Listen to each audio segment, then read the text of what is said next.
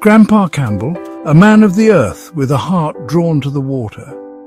He found solace in the tranquility of nature, and fishing was his symphony.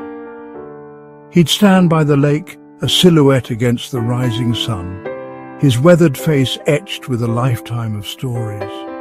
From a young age, I was captivated by his tales of enormous catfish and elusive trout, each fish a trophy, each story a treasure. He'd weave magic with his words, transporting me to those serene mornings on the water, the smell of the damp earth after a night's rain, the gentle rustling of leaves, the soft murmur of the water. These sensory memories are forever intertwined with my grandpa. He wasn't just teaching me to fish, he was sharing his world with me, a world rich with simple joys and quiet wisdom. Those fishing trips were rituals, sacred moments etched in my memory. The alarm clock would buzz before the sun even thought about rising. But the promise of a day with Grandpa, rod in hand, chased away any sleepiness. The drive to the lake was always silent, a comfortable silence. Grandpa would hum along to old country songs on the radio, his calloused fingers tapping on the steering wheel. I'd watch the world blur by, anticipation bubbling in my stomach. We'd arrive at the lake just as the first rays of dawn kissed the water. The air was crisp, heavy with the scent of pine needles and lake water. Grandpa, with the practiced ease of a seasoned angler, would prepare the rods. His movements were deliberate, almost meditative. He'd hand me my rod, a mischievous glint in his eye. Let's see if we can't outsmart some fish today, son. That was our cue. The hunt was on. Grandpa Campbell was the embodiment of patience. He'd sit there for hours, his gaze fixed on the bobber dancing gently on the water. He taught me that fishing wasn't just about catching. It was about observing, about understanding the rhythm of nature. Patience, son, he'd say, his voice a low rumble. Fishing is like life. You gotta wait for the right moment, then strike. And strike we did, reeling in rainbow trout shimmering in the sunlight, their scales catching the light. But the biggest lesson wasn't about hooks or bait. It was about resilience, about casting your line back into the water, even when disappointment tugged at your heart. He taught me that persistence, like the steady flow of the river, was the key to navigating life's currents. Grandpa had a way of finding humour in the smallest things. A tangled fishing line became an opportunity for a playful lesson in patience, a missed catch, a reason to erupt in hearty laughter. He had this contagious laugh, a deep bellow that echoed across the water. I remember one trip when I got my hook snagged on a log.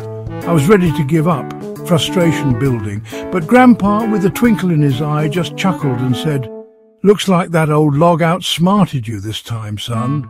We spent the next hour trying to free the hook, our attempts punctuated by fits of laughter. We never did get that hook back. But I learned a valuable lesson that day. Sometimes the greatest joy comes from embracing the absurdity of it all from finding humour in the face of setbacks.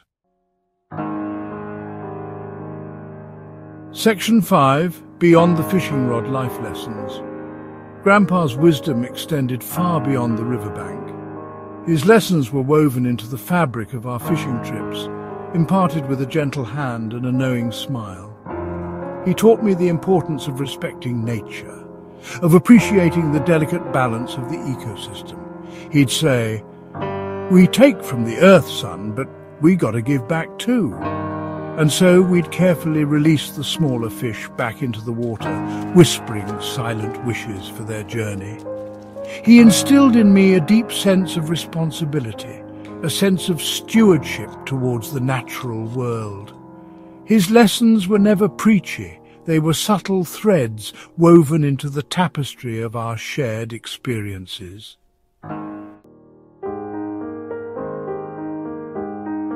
Section 6. The Unspoken Bond. There was a certain magic in those shared silences on the lake. We didn't always need words to communicate. A look, a knowing nod, a shared smile. These were the threads that bound us. We'd sit there, side by side, our lines cast in the water, our thoughts drifting along with the current. In those moments I felt an unspoken connection with him, a deep understanding that transcended words. It was a connection forged in the crucible of shared passions, a silent language spoken through the gentle tug of a fishing line and the warmth of the sun on our faces.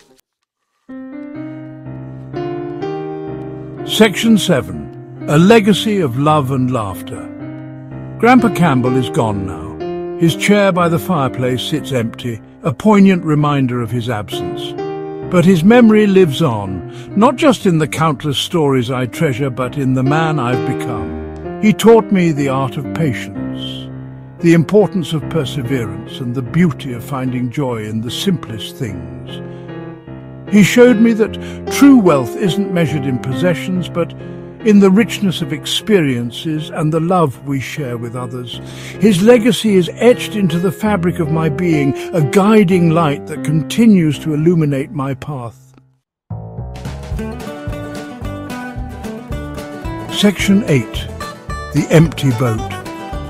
Sometimes when I stand by the lake I can almost hear his voice, feel the gentle pressure of his hand on my shoulder. The water still calls to me, whispering tales of shared adventures, but the boat feels empty now, the silence deafening.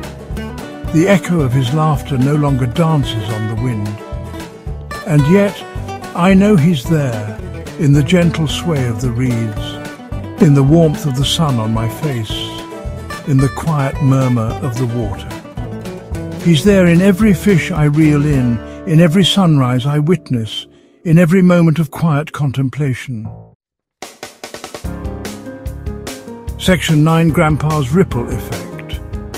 Grandpa Campbell may be gone, but his influence, like the ripples from a stone cast into water, continues to spread outwards. I see it in my own children, in their love for the outdoors, in their infectious laughter.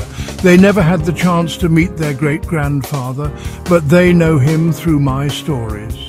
They carry a piece of him in their hearts, a legacy passed down through generations. And so, the cycle continues. The love, the laughter, the lessons learned on the riverbank, all of it lives on, a testament to the enduring power of a life well lived.